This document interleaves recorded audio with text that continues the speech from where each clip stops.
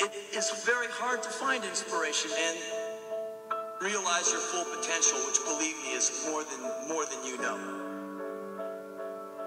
It's incredible.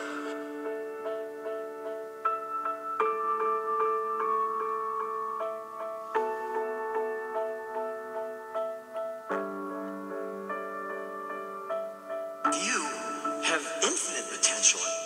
I mean, you're here, right? And you're capable of anything.